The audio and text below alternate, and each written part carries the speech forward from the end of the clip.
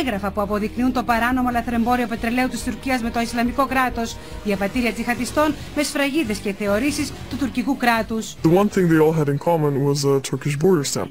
They arrived in Turkey and then illegally crossed the border to Syria and joined ISIL.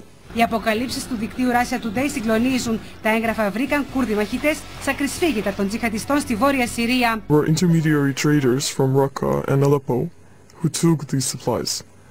They also often mentioned Turkey. Στα έγγραφα που φέρουν το σύμβολο του Ισλαμικού κράτους αναγράφονται τα δρομολόγια των βιτιοφόρων, οι ποσότητες πετρελαίου και οι παράνομες συναλλαγές με την Τουρκία.